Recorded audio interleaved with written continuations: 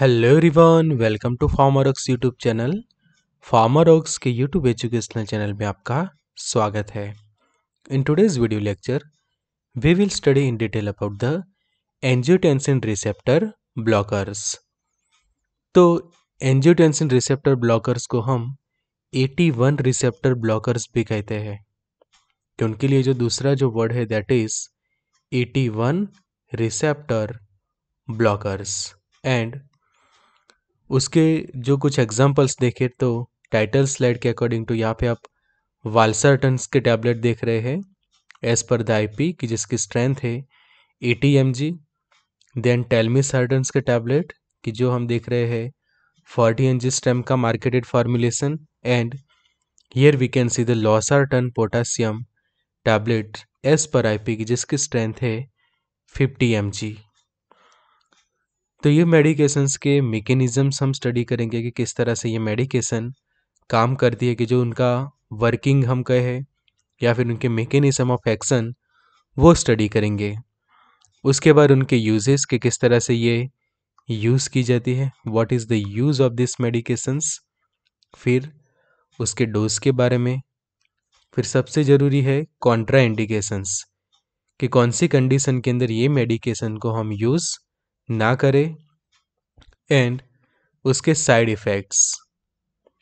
तो ये सभी पॉइंट्स को हम ये वीडियो लेक्चर में कवर करेंगे of the subject pharmacology so expert lecture by Amar sir assistant professor and founder of Pharmarocks thank you friends for being a one lakh family of Pharmarocks updated रहिए pharma knowledge के साथ. Access करिए study material test series and video lecture on app Pharmarocks कि अगर आपके पास Android phone है तो Google play store पर से आपको डाउनलोड करिए अगर आपके पास आईफोन है तो ऐप स्टोर पर से भी आपको डाउनलोड कर सकते हैं। तो आज का जो हमारा टॉपिक है, वो है एंजियोटेंसिन रिसेप्टर ब्लॉकर्स कि जिसको हम शॉर्ट में कहते हैं ए आर बीस तो A for angiotensin B for receptor and B for the blockers तो ये मेडिकेशन ऐसे कि जो 81 रिसेप्टर जो होते हैं, उनको करती है ब्लॉक तो जिसके कारण 81 रिसेप्टर ब्लॉकर्स या फिर एंटागोनिस्ट भी उनको कहा जाता है. तो angiotensin receptor blockers also known as a angiotensin two receptor antagonist are used to treat the high blood pressure and heart failure तो ये मेडिकेशंस यूजली प्रिस्क्राइब की जाती है हाई ब्लड प्रेशर के ट्रीटमेंट करने के लिए as well as heart failure के अंदर ये यूज़ की जाती है। They are also use for the chronic kidney disease ये पॉइंट समझिए कि जो क्रॉनिक किडनी डिसीज होती है, ऐसे पेशेंट को भी ये मेडिकेशन दी जाती है and prescribe following a heart attack Popular medication in this class are valsartan, losartan and candesartan तो जो है उसके ये क्लास की पॉपुलर मेडिकेशन है कि जिसको हम कहते हैं 81 रिसेप्टर ब्लॉकर ड्रग्स तो यहाँ पे समझिए जो बाजू में जो चार्ट है कि जो हमें पता है कि जो एनजियोटेंसिन होता है वो एनजियोटेंसिन वन में कन्वर्ट होता है due to the involvement of renin, कि रेनिन यहाँ पे जो एक एंजाइम है। फिर एंजियोटेंसिन वन में से एंजियोटेंसिन टू जो फॉर्म होता है, उसके लिए जो एंजाइम है वो है एंजियोटेंसिन कन्वर्टिंग एंजाइम, की जिसको हम कहते हैं ए सी ई एंजाइम। और एंजियोटेंसिन टू के प्रॉपर फ़ंक्शन के लिए दो रिसेप्टर्स इन्वॉल्व होते हैं, एक 81 रिसेप्टर और सेकंड 82 रिसेप्टर तो ये दोनों रिसेप्टर्स के जो है अलग अलग फ़ंक्शन होते हैं, वो हम नेक्स्ट स्लाइड के अंदर समझेंगे। तो यहाँ पे समझिए 81 रिसेप्टर का सबसे पहले तो the angiotensin two type one receptor angiotensin two के दो टाइप के रिसेप्टर है। एक है एंजियोटेंसिन टाइप वन रिसेप्टर और दूसरा टाइप टू रिसेप्टर तो ये वाला जो है 81 जिसको हम कहते हैं टाइप वन रिसेप्टर ये है आपका टाइप वन और ये वाला टाइप टू रिसेप्टर यहाँ तक की तो प्रोसीजर आपको पता है कि एंजियोटेंसिनोजन वो आगे कन्वर्ट होता है एंजियोटेंसिन वन के अंदर और जो एंजाइम है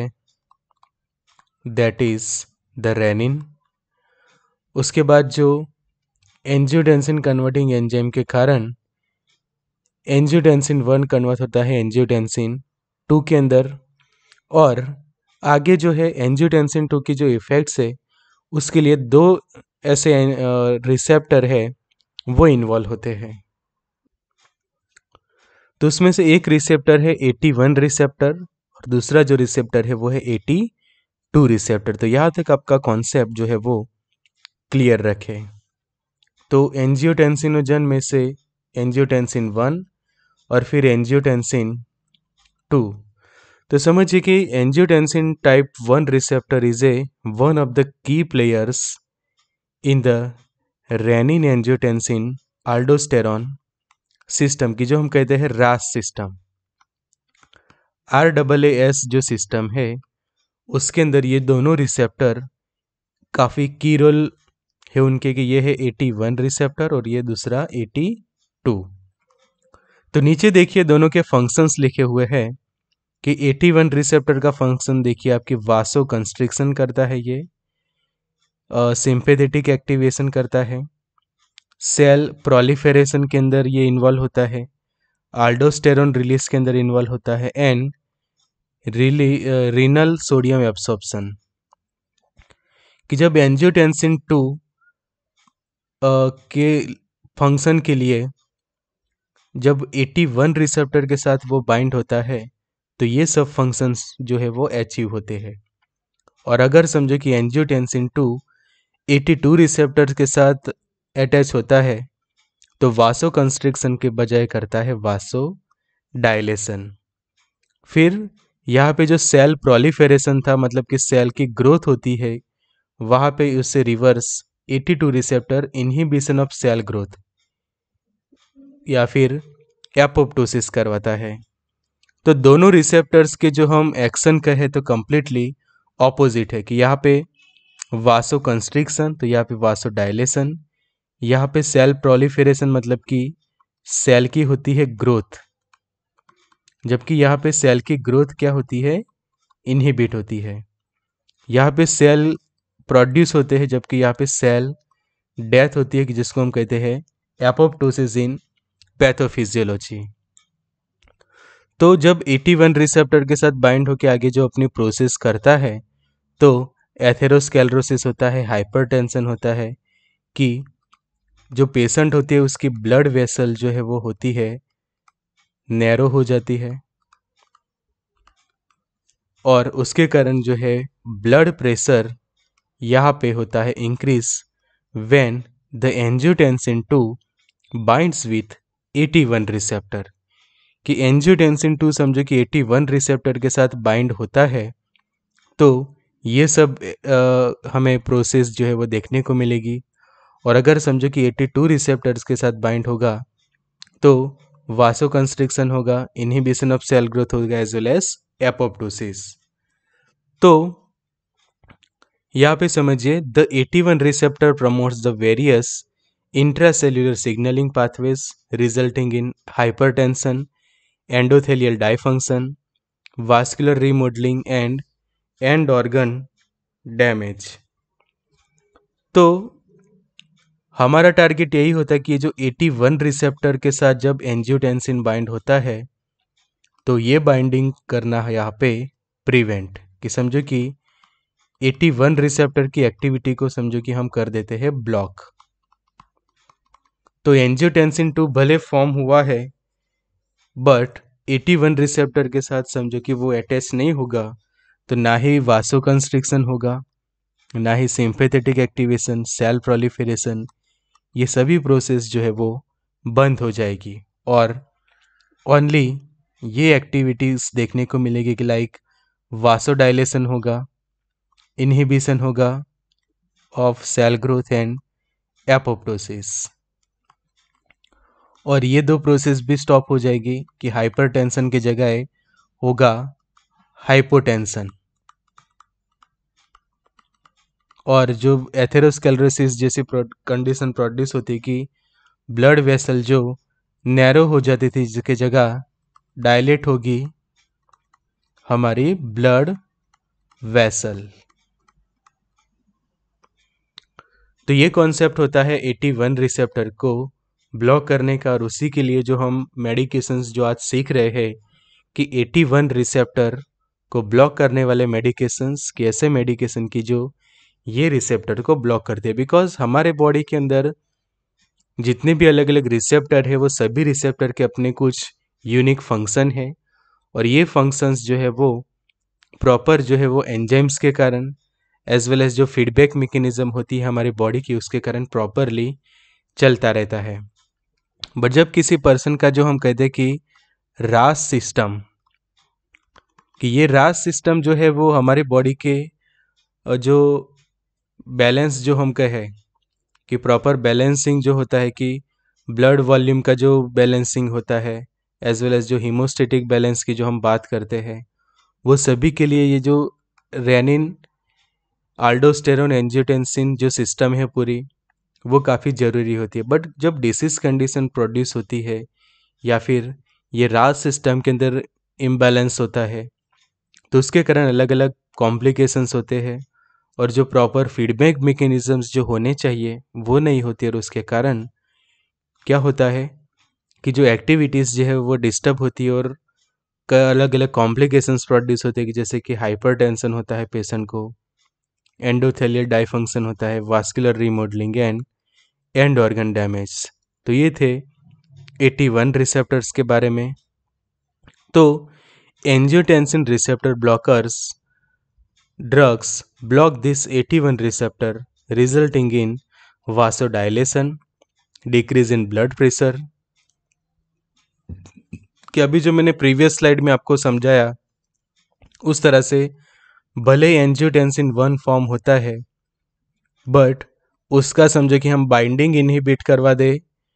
विथ 81 रिसेप्टर तो ये 81 रिसेप्टर के साथ जो बाइंडिंग होना, हम ब्लॉक करवा दे तो यहाँ पे बाइंडिंग नहीं होगा। तो ये सभी एक्टिविटीज़ जो है वो कम्प्लीटली क्लोज हो जाती है। ना ही एथेरोस्केलरिस ना ही हाइपोटेंशन बट वासोडाइलेशन होगा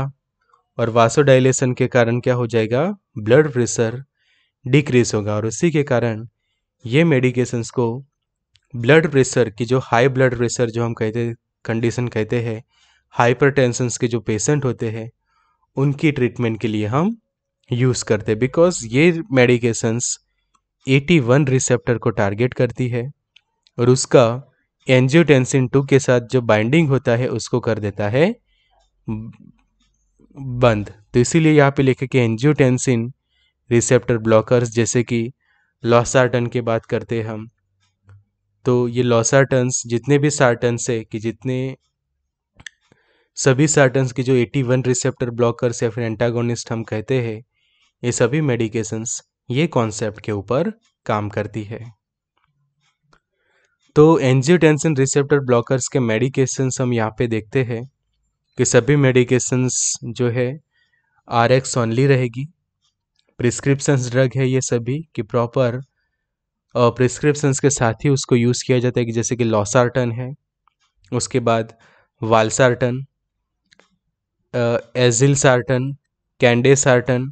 eprosartan irbesartan olmesartan and telmisartan तो यहाँ पे आपने एक कॉमन चीज़ नोटिस की होगी ये लेक्चर के अंदर या फिर, ये जो मेडिकेशंस की जो लिस्ट है उसके बारे में। तो ये सभी के पीछे लगता है ये सार्टन कोई भी मेडिकेशन आप देखिए ये क्लास की तो सभी के पीछे आपको सार्टन जो है वो देखने को मिलेगा। तो ये एक आपके लिए यूनिक आइडेंटिफिकेशन रहेगा एमसीक्यूज के अंदर एज वेल एज जब आपको याद रखना है तो पीछे के जो सार्टन्स आपके लिए कॉमन रहेंगे फिर जस्ट आपको आगे के नाम याद रखने के लिए telmisartan olmesartan valsartan losartan तो इस तरह से ये मेडिकेशंस को आप याद रख सकते हैं। ये मार्केटेड फॉर्मुलेशंस की जिसकी अलग अलग स्ट्रेंथ रहती है, कोई एटी एम की स्ट्रेंथ में है कोई फोर्टी एम जी स्ट्रेंथ में अवेलेबल है, कोई फिफ्टी एम जी स्ट्रेंथ में अवेलेबल होती है तो ये सभी मेडिकेशंस प्रिस्क्रिप्शन ऑनली मेडिकेशंस रहेंगी और प्रॉपर प्रिस्क्रिप्शंस के साथ ही उसको यूज़ किया जाता है।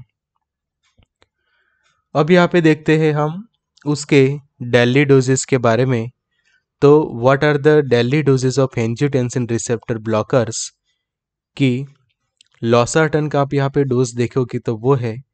50 से लेकर 100 एम कि लॉसर टन के आप डोज के ऊपर फोकस करोगे तो जो लॉसर टन का जो डोज है that is fifty to hundred M उसके बाद कैंडे सार्टन जो है, उसका डोज आप देखो तो चार से लेकर थर्टी टू एम और usually start with low dose यहाँ पे हम एक लिख सकते हैं कि start with lower dose usually patient की ट्रीटमेंट जो है वो हम लोअर डोज के साथ ही स्टार्ट करते हैं. दैट्स वाई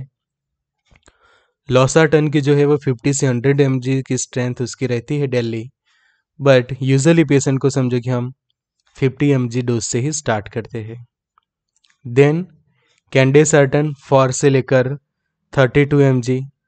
तो यहाँ पे आप देख सकते हैं कैंडे सर्टन का टैबलेट की जो 8 एम स्ट्रेंथ में है। तो डेली डोज उसका फोर से लेकर थर्टी टू है तो आप मिनिमम डोज ये फोर या फिर एट एम जी भी रख सकते हैं। देन वालसाटन कि जिसका डोज है एटी से लेकर थ्री ट्वेंटी एम जी तो यहाँ पे देखिए वालसाटन के ये जो टैबलेट्स है कि एटी एम जी की स्ट्रेंथ में वो अवेलेबल है तो जब आप ट्रीटमेंट स्टार्ट होती है पेशेंट की तो यूजुअली ये एटी एम वाला मेडिकेशन प्रिस्क्राइब किया जाता है कि जो उसका लोवेस्ट स्ट्रेंथ है। और ईटीएमजी e से समझे कि पेशेंट का ब्लड प्रेशर कंट्रोल हो जाता है तो फिर उसको हम ओडी ही देंगे और ज़रूरत पड़े तो ही हम उसको पीडी कर सकते हैं मतलब कि टू टाइम्स अ डे तो ये होता है उसका मेन डोजिंग फिर इर्बे सार्टन का आप देखो तो 150 से लेकर 300 हंड्रेड तो ये टैबलेट्स देखिए इर्बे सार्टन की यहाँ पे कि जिसका इनिशियल डोज 150 फिफ्टी जो है यहाँ पे लिखा हुआ है। दैट इंडिकेट्स की यूजली मार्केटेड फॉर्मुलेशंस भी इसी तरह से होते हैं कि जो लोअर डोज को टारगेट करके ही ज़्यादा बनाए जाते हैं। बिकॉज़ इसका फिर आप कॉम्बिनेशन कर सकते हैं कि समझो कि पेशेंट को 300 हंड्रेड की ज़रूरत है तो 150 फिफ्टी वो बीडी ले सकता है। कि एक मॉर्निंग में और एक समझो कि नाइट में लेता है पेशेंट तो ये भी हो गया कि 150 plus 150 total 300 hundred M daily dose हो जाता है। फिर टेलमी सर्टन का 40 से लेकर 80 एम जी इप्रो सर्टन 400 से लेकर 800 हंड्रेड एम जी का वो उसका डोज रहता है। फिर ओम olmesartan 10 to 40 M G azilsartan 40 to 80 एन फीमा सर्टन 30 टू 120 तो ये है आपके लिए very very most I M P point किसको अच्छे से याद रखना है एंजियोटेंसिन रिसेप्टर ब्लॉकर्स आगे समझे उसके मैकेनिज्म ऑफ़ एक्शन तो ऑलरेडी हम जान ही चुके हैं। तो एंजियोटेंसिन टू जब फॉर्म हो जाता है तो उससे आगे जब वो 81 रिसेप्टर के साथ बाइंड ना हो और वासो कंस्ट्रिक्शन जो ना करे, इसी के लिए हम जो है वो ये मेडिकेशंस पेशेंट को देते हैं और ये कर देते हैं। यहाँ पे जो ए आर बीस की जितने भी मेडिकेशन है, वो एंजियोटेंसिन टू का एटी वन रिसेप्टर के साथ बाइंडिंग जो है वो कर देता है ब्लॉक तो AT one receptor blockers bind selectively to AT one receptor and thus inhibit the effect of angiotensin two, कि हमारे जो मेडिकेशन से वो बाइंड हो जाएँगे एटी वन रिसेप्टर के साथ। कि समझे कि आपने लिया है लॉसार्टन तो लॉसार्टन क्या करेगी? लॉसार्टन जो है वो अपना कॉम्प्लेक्स बना देंगे विथ 81 रिसेप्टर तो एंजियोटेंसिन टू जो है वो इसके साथ अब बाइंड नहीं हो पाएगा बिकॉज़ 81 के साथ ब्लॉक हो जाती है हमारी मेडिकेशन, लॉसार्टन। तो ये एंजियोटेंसिन भले फॉर्म हुआ है, बट वो रहेगा, इनएक्टिव रहेगा। उसका रीज़न ये है कि इस, ये जो है 81 रिसेप्टर के साथ बाइंड होगा तो ही वो अपनी वासो कंस्ट्रिक्शन इफ़ेक्ट देगा। नहीं तो फिर वो 82 के साथ बाइंड होगा और देगा अपनी vasodilation irrespective of whether angiotensin 2 is produced via angiotensin converting enzyme or by non AC E pathway तो किसी भी तरह के समझे कि एसी ही इनिबिटर के कारण सॉरी एसी ही एंजाइम के कारण एंजियोटेंसिन टू भले फॉर्म हुआ है, हमें कोई प्रॉब्लम नहीं होगी बिकॉज़ एंजियोटेंसिन टू जो है वो बन जाएगा इनएक्टिव विदाउट दिस 81 रिसेप्टर की, जो रिस्पॉन्सिबल होते हैं वासो कंस्ट्रिक्शन के लिए। और 81 रिसेप्टर ही नहीं मिलेगा तो ना ही वासो कंस्ट्रिक्शन और ऑटोमेटिकली जो है वो वासो डायलेशन होगा। वासो डायलेशन होगा तो ब्लड वेसल डायलेट होगी। ब्लड वेसल डायलेट हो जाएगी तो ब्लड प्रेशर ऑटोमेटिकली रिड्यूस हो जाएगा तो इस तरह से ये मेडिकेशन काम करता है। तो what are the uses and indications of angiotensin receptor blockers तो जिसके मेकेनिज्म है कि ब्लड प्रेशर को रिड्यूस करती है, जिसके कारण we can prescribe this medication to the patient with high blood pressure कि हाई ब्लड प्रेशर के जो पेशेंट होते हैं, उनका ब्लड प्रेशर कंट्रोल करने के लिए हम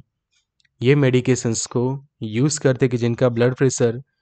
systolic 120 and diastolic 80 से काफ़ी एलिवेटेड रहता है। तो इसे पेशेंट का ब्लड प्रेशर कंट्रोल करने के लिए हम ये मेडिकेशंस यूज़ कर सकते हैं। Then the treating of congestive heart failure कि जो हम कहते हैं C H F C H and F congestive heart failure की ट्रीटमेंट के अंदर कि यहाँ पे हम देख सकते हैं कंजेस्टिव हार्ट तो यहाँ पे क्या होता है कि thickening of the ventricular chambers and smaller filling capacity and ejection of blood तो उसके कारण क्या होता है? कंजेशन हो जाता है हार्ट के अंदर, कि जो हम कहते हैं कि जो ब्लॉकिंग होता कंजेशन होना नैरोविंग होना तो ऐसी कंडीशन के कारण जब हार्ट फेल्यूर होता है तो यूजुअली क्या होगा कि ये जो मसल्स है, उसको डायलेट करने का ये काम करेंगे, ये मेडिकेशंस और उसका जो इंडिकेशन है इन कंजेस्टिव हार्ट फेल्यूर फिर प्रिवेंटिंग डायबिटीज़ और high blood pressure related kidney failure कि पेशेंट का किडनी फेल्यूर हुआ है ड्यू टू द डायबिटीज़ और हाई ब्लड प्रेशर कि जब ब्लड प्रेशर ज़्यादा रहता है तो उसके कारण आपके दूसरे ऑर्गन्स भी डैमेज होते हैं. सेम लाइक दैट डायबिटीज़ में भी हो कि डायबिटीज़ के कारण आपके बॉडी के दूसरे ऑर्गन्स डैमेज होते हैं और उसमें सबसे पहले टारगेट होती है ज़्यादातर किडनीज बिकॉज़ किडनी का भी वर्किंग कंटिन्यूस रहता है हमारे बॉडी के अंदर। तो किडनी फेल्यूर के अंदर भी हम इसको प्रिस्क्राइब कर सकते हैं with proper guidelines then reducing the risk of stroke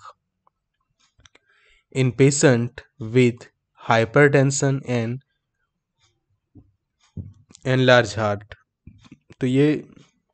point खास आपको अच्छे से याद रखना है कि uses and indication of A R Bs तो यहाँ पे जो हमने बात की कि किडनी फेलियर के पेशेंट्स को अच्छे प्रॉपर चेकअप के साथ ही मेडिकेशंस दी जाती है बिकॉज़ के सामने जो वो पेशेंट के कंडीशन चेक करके एज वेल एज उसके जो वाइटल साइंस होते हैं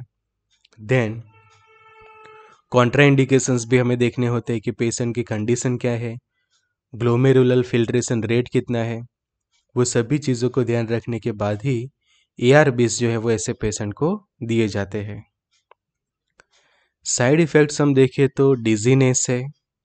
लाइट हेडेडनेस कि जो हम कहते हैं कि हेडेक हो जाता है कई बार पेशेंट को डिजीनेस रहता है।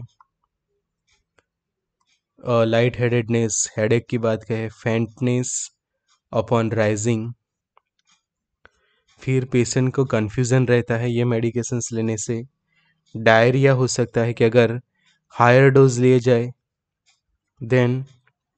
मसल्स के अंदर क्रैम्प्स हो सकते हैं पेशेंट को। वीकनेस हो सकती है ये मेडिकेशंस के कारण कि जिसको हम कहते हैं फटिक साइनसाइटिस भी होता है।